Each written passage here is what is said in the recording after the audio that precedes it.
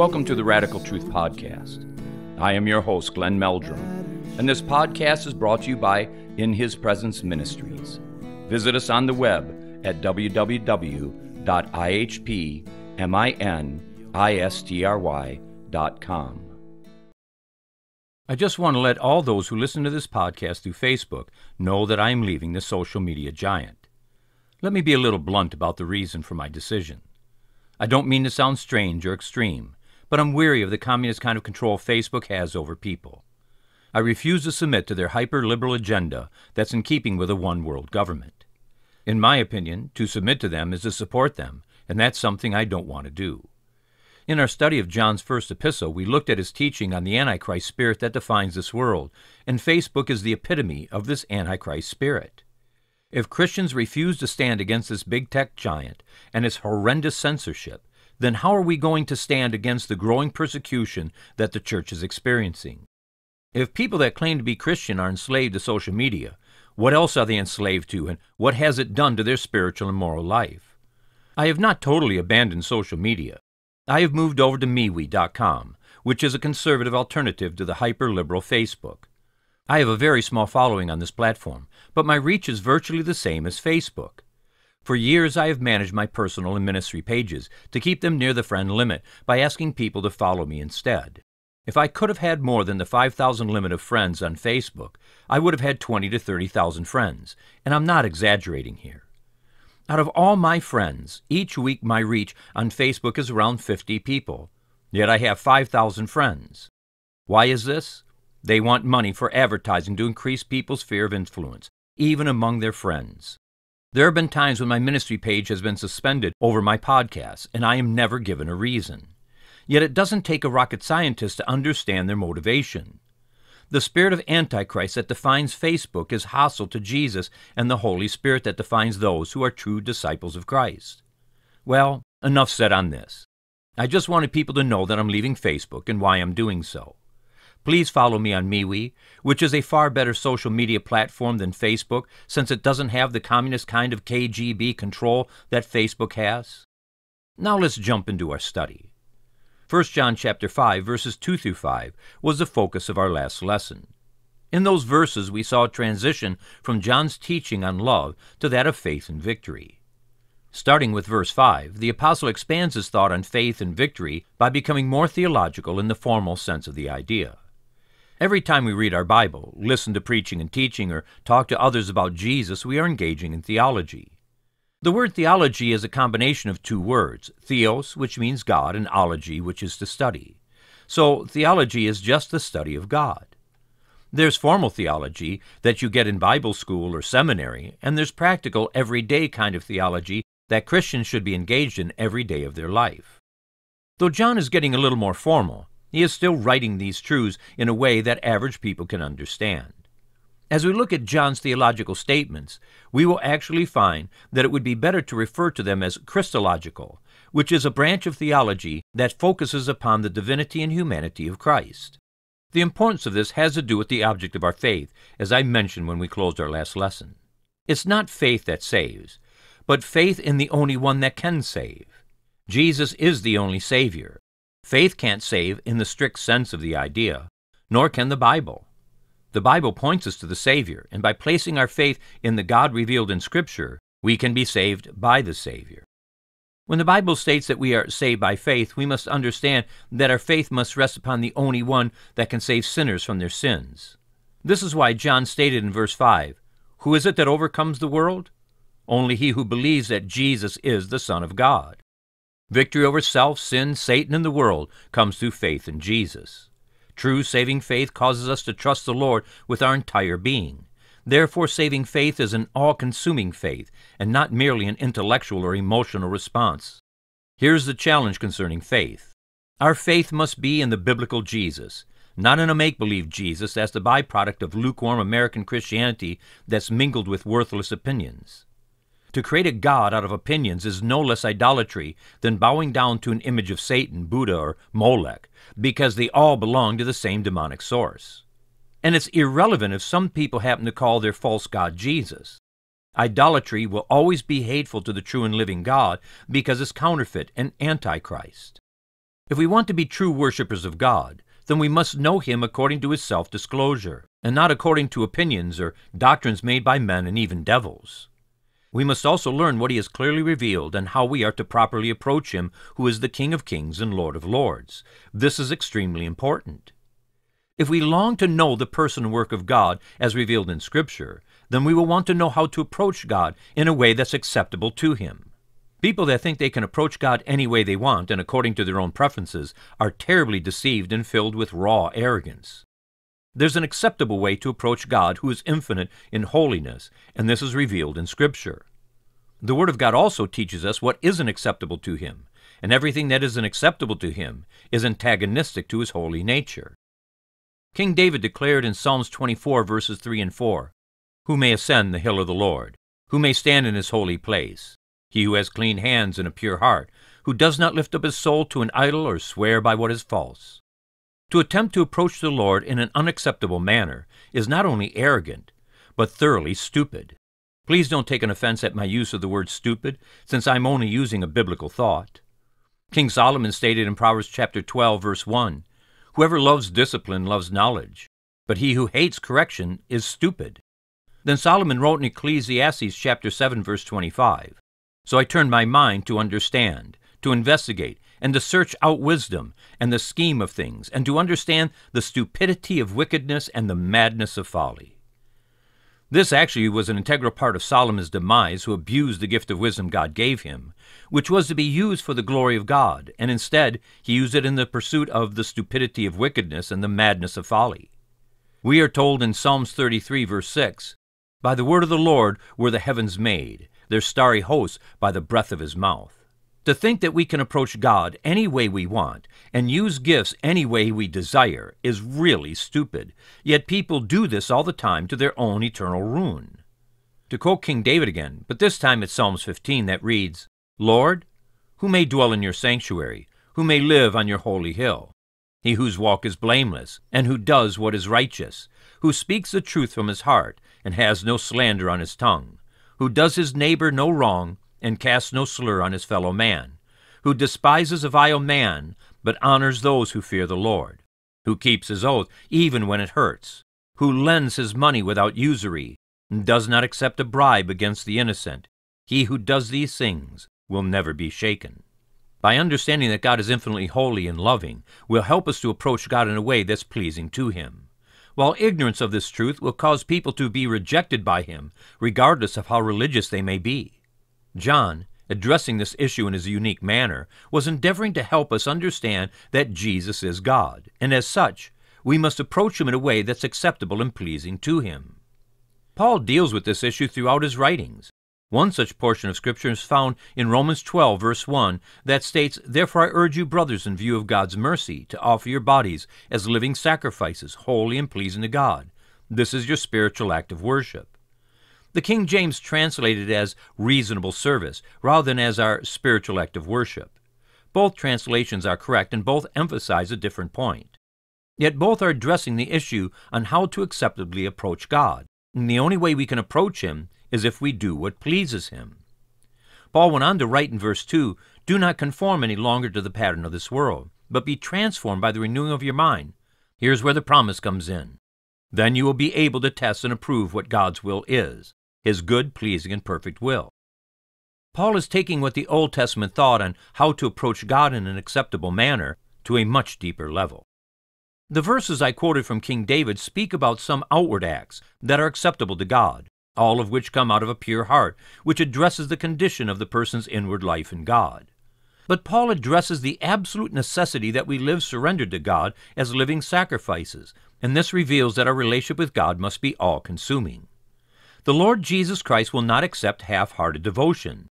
Evidence of true surrender to Jesus is seen not in conforming to the world, which is defined by the Antichrist spirit I mentioned in my opening points, the only kind of surrender that's acceptable to God is that which is all consuming, where our heart, mind, and will are yielded to the Savior. For people to not be conformed to this world, they must have their mind transformed. Until we think differently, we won't act differently. We don't need a little fixing up of our way of thinking and the way we live, but we need a total revolution of our mind because our natural mind is thoroughly corrupt and depraved. To be pleasing to God, we must be a living sacrifice that's not conformed to this world, and this can only happen when we begin to think like bona fide followers of Jesus. This is the only kind of people that will know God's good and pleasing will and experience the phenomenal blessings such a life produces. When the ambition of our life is to please God in everything we are and do, then we will learn what is pleasing and displeasing to Him. We will then put into practice those things that please Him and aggressively avoid those things that incur His displeasure. This is love for God, as John extensively teaches in this epistle. Here's where biblical literacy is killing the church. And I don't mean that figuratively, but literally. America's obsession with screens has helped create this biblical illiteracy by people willfully allowing themselves to be manipulated through their screens. In our supposed modern culture, a vast number of people don't read or read very much due to the reading habits of those addicted to their screens. People may read a sentence or two off of a blog or news site or read a little blurb off of social media. Some might even read a novel from an app they have downloaded, but to faithfully read the Bible is being forsaken by vast portions of the church, especially the younger generations. If we don't know God's Word, then how are we going to know how to be saved, what it means to be saved, and how to stay saved? Not just that, how will people know what pleases and displeases God? This means that they have no knowledge on how to approach God in an acceptable manner. They are like dumb sheep following other dumb sheep all of which are defined by opinions and what the mass of self professing Christians are saying and doing. Ignorance of God's Word is literally damning multitudes to hell, even while they claim to be Christian, and many still going to church. As we begin digging into verse 6, John will add a little substance to what we are to believe about the person of God incarnate, Jesus, the Son of God. I want to begin by reading verse 6. This is the one who came by water and blood. Jesus Christ. He did not come by water only, but by water and blood. And it is the Spirit who testifies, because the Spirit is the truth. With the next three verses, there are a lot of diverse ideas from Bible commentators. Some of the scholars and preachers get so allegorical in their interpretation that they miss what John is actually teaching. The allegorical interpretation of Scripture was by and large abandoned after the Reformation, though there is a growing number of preachers and teachers that use it today.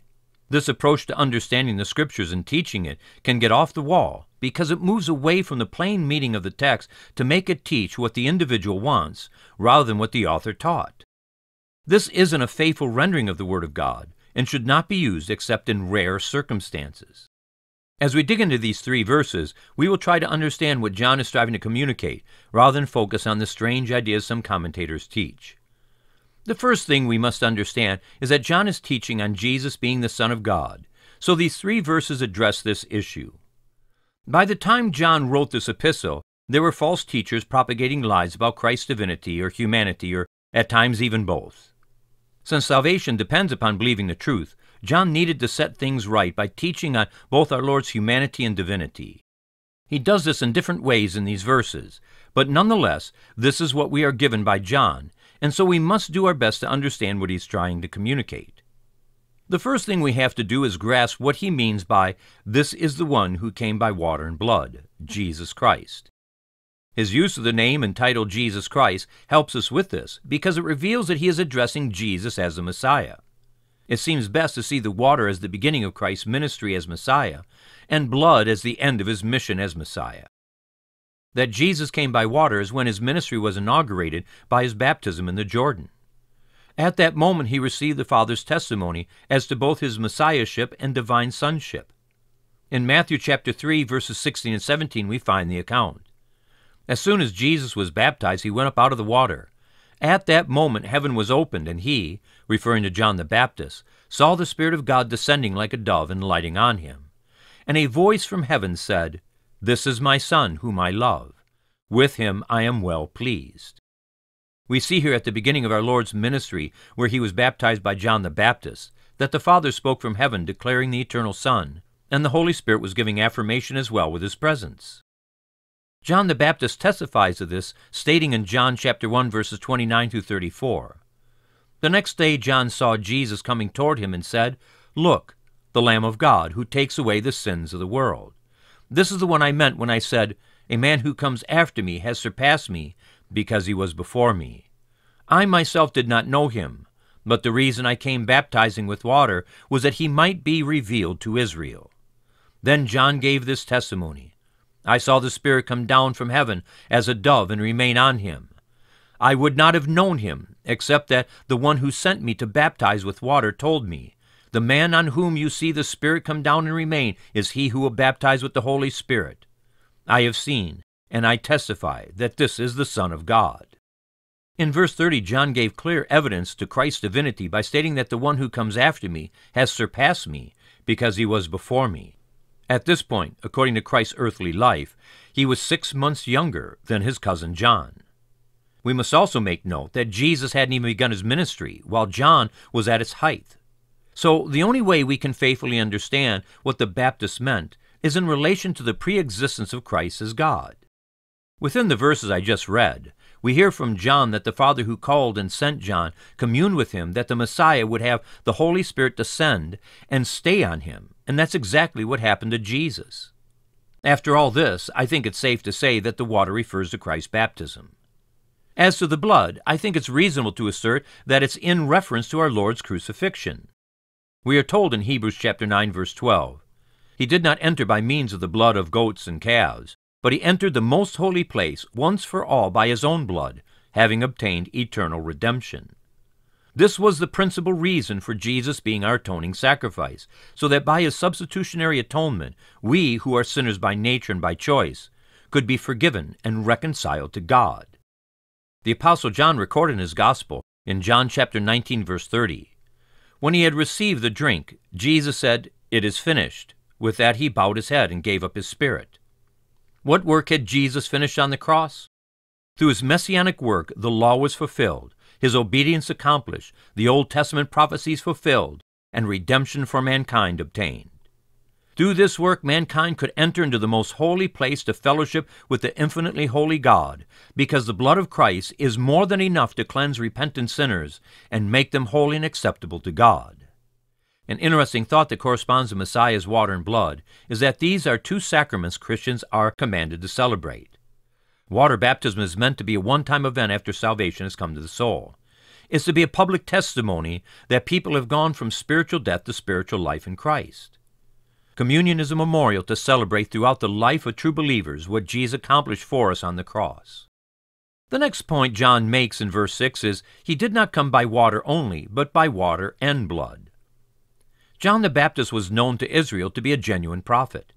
He baptized people in water unto repentance, but he didn't die for the sins of the people because he wasn't the promised Messiah. Jesus was baptized by water and blood, a double baptism. The first to inaugurate his ministry, the second to finish his work of redemption. The third and final point in verse 6 is, And it is the Spirit who testifies, because the Spirit is the truth. As we looked at earlier, when Jesus was baptized by John the Baptist, the Father spoke audibly from heaven, and the Holy Spirit descended in physical form, resting upon Jesus. Here's a Trinity in one of the clearest examples in Scripture, where the oneness of God reveals the unity within the Trinity. There was never a time where Jesus testified by himself. The Father and Spirit were always there. How could it be otherwise? We see this wonderfully laid out in John chapter 3 verse 34. For the one whom God has sent speaks the words of God, for God gives him the Spirit without limit. All the miracles Jesus performed was done in obedience to the Father's will, but according to the inherent power Jesus possesses as Almighty God. Yet there was never a miracle done by himself or for himself, but they were all done in perfect unity of the Trinity. I have been in authentic revival and have seen the power of God fall in tremendous ways. How much more was this a reality when Jesus preached? So we could say that as Jesus spoke, ministered, and was among the people, the Holy Spirit was moving and testifying to who Jesus was. There has never been a man, nor could there ever be another, except Jesus who was given the Spirit without limit. One aspect of this is that he was sinless, so there was nothing in him to grieve the Father the Holy Spirit. But even more than that, he was God incarnate, and in this sense the Spirit was given to him without measure because of the perfect unity within the Trinity. With everything Jesus did, the Spirit upheld him by testifying through the wonder of the Spirit's presence in ways that most people can't understand, because they have never experienced the outpouring of the Holy Spirit. There's another application that can be seen with those who give the verifiable evidence that they are followers of Jesus and have, out of obedience to the command, been baptized in water and regularly celebrate the Lord's Supper. This proof is the gift of the indwelling Holy Spirit that every true believer has. For if they don't have the Spirit living in them, then they don't belong to Jesus. This is different from the baptism of the Holy Spirit, but I will leave that teaching for another day and recommend that you watch my video teaching on the subject off my website or from my YouTube channel. The Lord wants His people to be so full of the Holy Spirit that the Spirit is testifying through them to the reality that we belong to Jesus and that Jesus is God. There are many ways this can happen, from conviction over sin to a divine magnetism that supernaturally draws people to fall at the feet of Jesus in repentance and surrender. One of the major problems the church in America has today is that she is so full of self that she is empty of the Holy Spirit. It's like the Old Testament, where you had the tabernacle the Lord commanded Moses to build that was in Shiloh. But the Ark of the Covenant wasn't there. It wasn't in the most holy place like it should be. This is an expression of the house of God without the presence of God. That's dead religion, having a form of godliness, but utterly powerless because it's without the indwelling Holy Spirit. This is church without God present in any tangible way, and this is a tragedy beyond what words can convey. It's a modern day version of the Valley of Dry Bones that Ezekiel prophesied about in chapter 37 of his prophetic book. As we move on to verses 7 and 8, we find that there are a lot of diversity in translations and commentaries. As I have stated before, the division of chapter and verses isn't original to the Hebrew and Greek manuscripts. In a limited number of cases, this can cause translators a lot of trouble in how to translate a verse or portion of Scripture, and this is a case in point. Not just that. There is a possibility that some of the translations are using manuscripts that were edited. I don't want to get deep into this because none of the differences change what John is teaching, but I will try to explain this in simple terms. I think the best way to do this is to read a couple of the translations so that we can see the differences. Let's begin with the 1984 NIV, going from the end of verse 6 through verse 8. And it is the Spirit who testifies, because the Spirit is truth. For there are three that testify the Spirit, the water, and the blood, and the three are in agreement. Now let's look at the King James Version. And it is the Spirit that beareth witness, because the Spirit is truth. For there are three that bear record in heaven the Father, the Word, and the Holy Ghost. And these three are one. And there are three that bear witness on earth the Spirit, and the water, and the blood, and these three agree in one. Another translation called the Oracle, or the Living Oracle, was first published in 1824 and gives a little different twist to it, and I will read verses 6 through 8. This is he who came by water and blood, even Jesus Christ, not the water only, but by the water and the blood. And it is the Spirit who testified, because the Spirit is the truth. Indeed, there are three who bear testimony the Spirit, and the water, and the blood, and these three agree in one. The Oracle New Testament is seen by some as the granddaddy of modern translations in that it was an attempt to make the language of Scripture understandable to the average people of their day. The translator also used older manuscripts as their source material, which made it more accurate than the King James Version. Yet those who are bound up in the King James only teaching don't consider that older manuscripts shed a lot of light on the Word. The distinction that the King James makes between three that bear witness in heaven and three that bear witness on earth appears to be an insertion of an editor and not original according to the oldest manuscripts. The evidence against the rendering of these verses according to the King James Version is rather overwhelming. This wasn't removed from more modern translations out of some deviant act of compromise but from striving to be accurate by using older source material than what the translators of the King James Version had. When the editor's insertion are removed, verses 6 through 9 flow much better and make perfect sense. For this reason, I will use the 1984 NIV to finish up this lesson on verses 7 and 8. In verse 7, we are told that there are three who testify or bear witness that Jesus is the Son of God. And it would be helpful for us to understand that there's no distinction made in ancient manuscripts between heaven and earth in these verses. Of course, the Father, Son, and Spirit gave evidence to Jesus being Messiah and the Son of God, and we have already touched on this. According to the Mosaic Law, two or three witnesses were needed to constitute an adequate testimony. Even Jesus used this point of the law to support his claim of being Messiah and for performing miracles. Heaven doesn't need testimony of Christ's divinity because there's no dispute there as to his person and nature. It's on earth before an unbelieving and obstinate world that the testimony is needed. So, according to the 1984 NIV, verse 7 declares that there are three that bear witness to Jesus, and in verse 8, the apostle reveals who these witnesses are. Verse 8 declares, The Spirit, the water, and the blood, and the three are in agreement. The three agree or testify that Jesus is the Son of God, and as such, he is the promised Messiah. We mustn't miss or forget that the purpose of these few verses is to support and testify to the fact that Jesus is the Son of God, the Savior of the world. Though there is a reasonable way to apply these truths to the life of believers, they must first be applied to Jesus. The first in the list is the Holy Spirit who has testified and is still testifying that Jesus is Messiah, the Son of God, and is equal with the Father within the Trinity.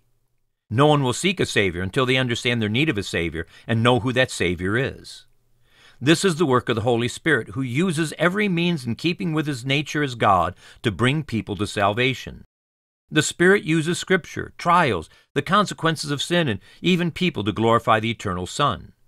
Without the work of the Holy Spirit in convicting sinners of their sin and of informing them that Jesus is the only remedy to their sin sick souls, no one can be saved. The ministry of the Holy Spirit is another expression of the love of God that's lavished upon us, to use some of John's terminology. It's not just that we need the Holy Spirit to be saved, but we need His work in our life to stay saved. The Spirit is constantly speaking to the heart and mind of believers to reaffirm who Jesus is and to glorify the eternal Son, to convict of sin, and to be our comforter and guide. We need to return to the point that the second witness to the person and work of Jesus was his water baptism. That was the inauguration of his ministry. The third testimony to Christ's sonship is the blood which was poured out on Calvary's tree so that we could be saved. Without the shedding of blood, there can be no remission of sin, as Paul taught in Hebrews chapter 9, verse 22. The Spirit, the water, and the blood testify in perfect unity to the divinity and humanity of Christ as our promised Messiah. These three are at work in this world testifying to Christ so that people can be saved. And these three testify through true followers of Jesus. Water baptism speaks of the testimony we have in becoming one of Christ's disciples. Communion testifies that we are in fellowship with Him and that His blood cleanses us from sin. And third, the Holy Spirit dwelling in believers speaks that we belong to Jesus. Is this testimony in you, dear listener? Thank you for listening to The Radical Truth with your host, Glenn Meldrum. We at In His Presence Ministries pray that this weekly podcast will be a blessing to you. Please tell others about it and subscribe yourself to this free podcast. Don't forget to visit our website at www.ihpministry.com. See you again next time, and may God richly bless you as you seek Him in spirit and in truth. thirst no more. So come wash in the river, come drink your fill. Let healing waters bear away your guilt.